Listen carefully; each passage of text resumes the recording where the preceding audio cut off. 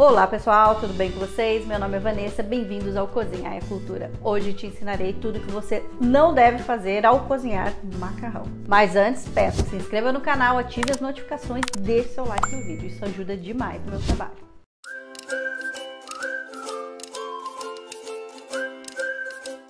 Então hoje na série de cozinha básica te ensinarei como cozer macarrão corretamente. Com essas dicas você nunca mais vai comer um macarrão ou mole demais, ou duro demais, ou sem molho, ou sem tal homogêneo. Vai ficar tudo perfeito. E a primeira coisa para cozer uma massa perfeitamente é a quantia de água que a gente vai colocar na massa. Então, para cada 100 gramas de massa, de qualquer tipo de massa, um litro de água. Nunca cozinhe macarrão em pouca água, ele tem que ter água abundante. Outra coisa, água fervente, a água tem que estar tá borbulhando. Nunca coloque também a sua massa numa água morna ou fria, tem que estar tá bem borbulhando para colocar. E a última coisa, o sal na água, tá? Sua água tem que estar tá bem salgadinha. Eu estou usando aqui 200 gramas de massa, então tenho aqui 2 litros de água. E eu uso a medida de mais ou menos meia colher de sopa por litro de água. Então, como eu tenho 2 litros aqui, colocarei uma colher de sopa de sal na água. E aí já venho aqui para quebrar o mito que muita gente faz. Não coloque óleo na água, nem azeite, nenhum tipo de gordura, tá? Isso interfere, ele vai impermeabilizar a sua massa e não vai deixar o molho aderir nela, então só vai prejudicar. Cozer macarrão é só água e sal, mais nada. Enquanto eu espero minha água ferver bem aqui, vamos falar sobre o tempo de cozimento da massa, que é uma coisa que muita gente tem dúvida, só que é uma coisa muito simples. Por quê? Toda embalagem de macarrão vem escrito o tempo de cozimento e é o, é o tempo de cozimento perfeito para cada tipo de massa. Tem vários estudos, várias pessoas já testaram isso. Então confie, está escrito na embalagem é porque é aquele tempo. E eu até deixei a caixinha da minha massa aqui, ó.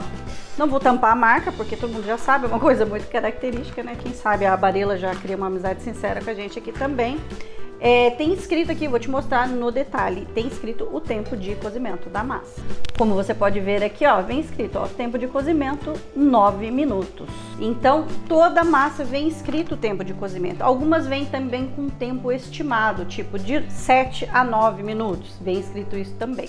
Mas essas da Barilla vem escrito o tempo já perfeito, de 9 minutos. Então, 9 minutos sua massa vai estar perfeitamente cozida. É muito difícil, salvo raríssimas exceções, massas que não vem escrito só é, alguns tipos de macarrão japonês que às vezes não vem escrito, mas o macarrão comum que a gente usa no dia a dia, todos vem escrito o tempo de cocção nele.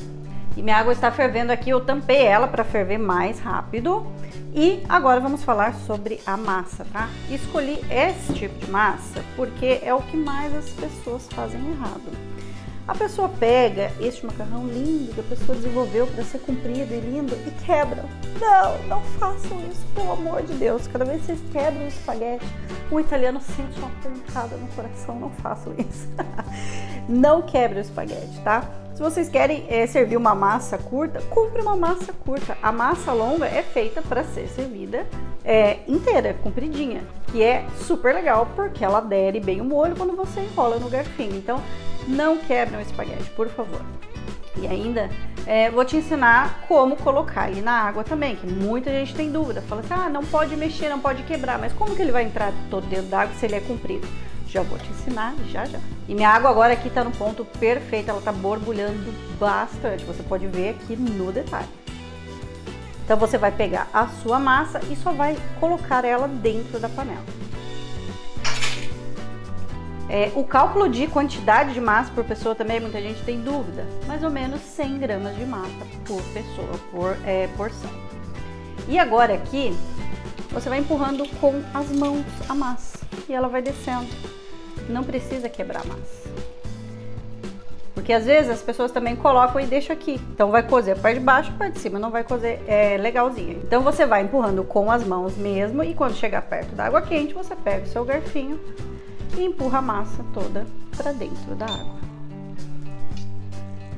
E aí, com a massa toda dentro da água, você começa a soltar ela. O ideal aqui nos primeiros minutos de cozimento é sempre vir aqui e dar uma mexidinha para que a massa não fique grudadinha uma na outra. E aí o meu macarrão entrou todo dentro d'água, a gente vai pegar e vai contar os minutos.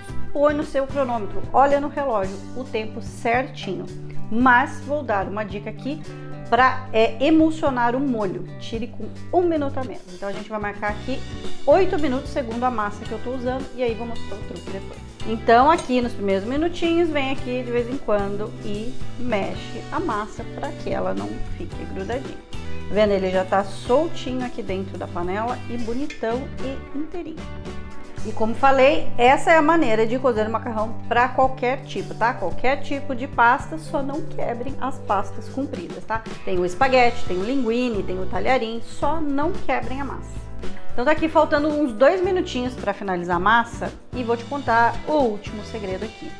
Reserve um pouco da água do cozimento da sua massa. Se você tiver aquela espagueteira que você puxa a água já fica dentro da panela, perfeito, não precisa nem reservar. Mas se você não tiver, assim como eu não tenho, você pega aqui uma conchinha e reserva um pouco dessa água do cozimento para a gente finalizar a massa na panela. Então reservei aqui algumas conchas da água do cozimento.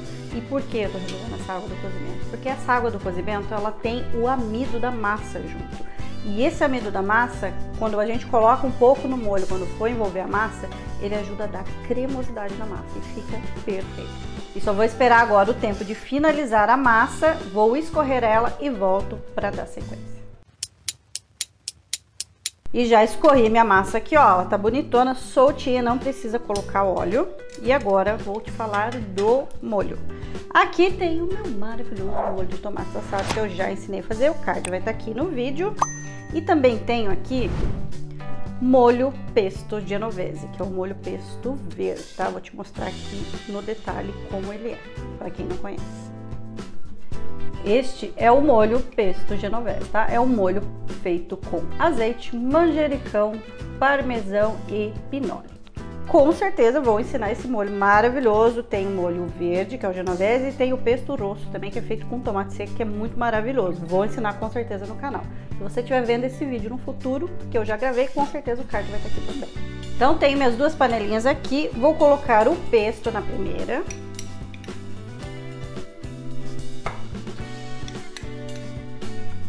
E aqui no pesto, como ele é um molho bem denso, então já vou colocar aqui meia conchinha da água do cozimento. E na outra panela vou colocar o molho de tomates assado. Como já estava bem quentinha a panela aqui, ó, o molho já começou a borbulhar. E agora eu vou mexer também o pesto. E aí a quantidade de molho por massa, aí é o quanto seu coração mandar. Isso aí realmente é a gosto. Tem pessoas que gostam de macarrão bastante molho, tem pessoas que gostam dele mais sequinho. Então agora eu vou distribuir aqui minha massa entre as duas panelas. Então colocarei por volta de 100 gramas em cada um.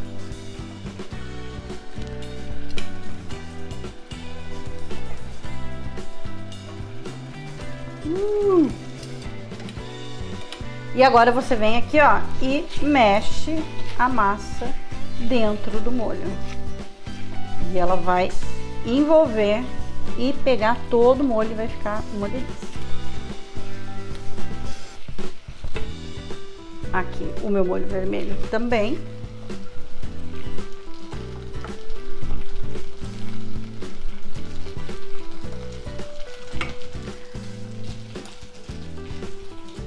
Aqui na minha massa do pesto, vou colocar mais um pouquinho do caldo do cozimento. E vou mexer. E aí, aquele minutinho que faltava no cozimento, ele já vai terminar aqui na panela e vai ficar no ponto perfeito.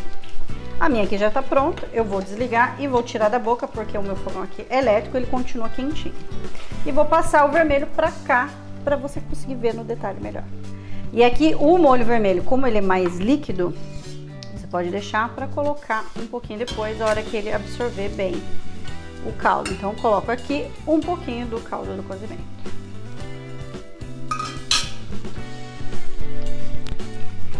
Mexeu.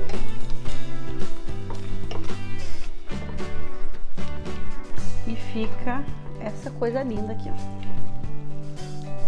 Eu vou colocar só mais uma colherzinha de molho, porque eu gosto bastante molho, de vermelho. O pesto ele já é um pouquinho mais sequinho.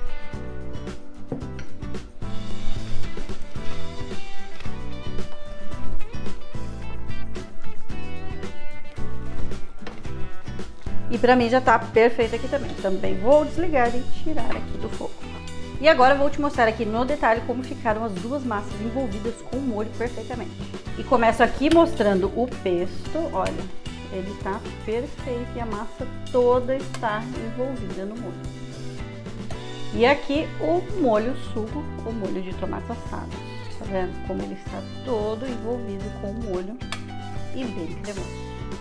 E estão prontas nossas massas aqui. E essa técnica de finalizar na panela, você pode usar com qualquer molho, tá? E sempre também reservar um pouquinho da água do cozimento. Mesmo para um bechamel, né, o famoso molho branco do Brasil, você pode finalizar também, que às vezes o bechamel fica denso. Então você dilui com um pouquinho da água do cozimento. Você pode usar para um bolognese, você pode usar para qualquer, para um putanesca, para um molho é, la norma, qualquer um você pode estar tá usando essa técnica. E sempre façam isso de finalizar a massa no molho, tá? Colocar a massa aqui cozida só e o molho por cima, ela não adere, não fica tão gostoso. E agora você emprata bem bonitona a sua massa e serve para você, para sua família, para seus amigos. E agora eu vou colocar as massas no prato aqui.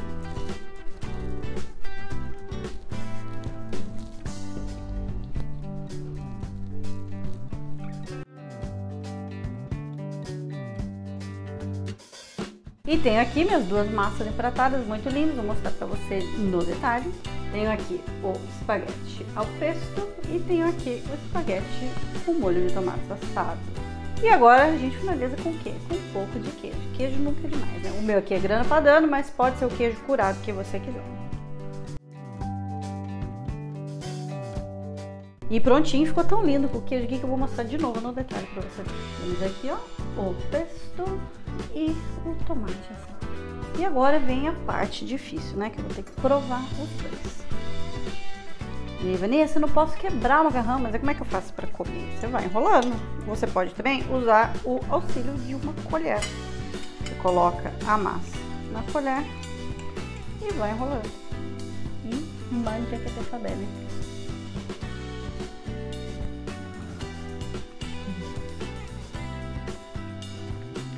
Você não fez ainda esse molho de tomate assado?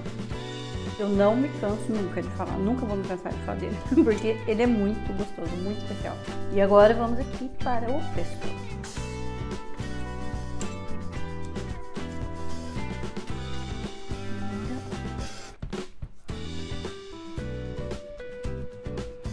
Hum. O pesto é muito bom.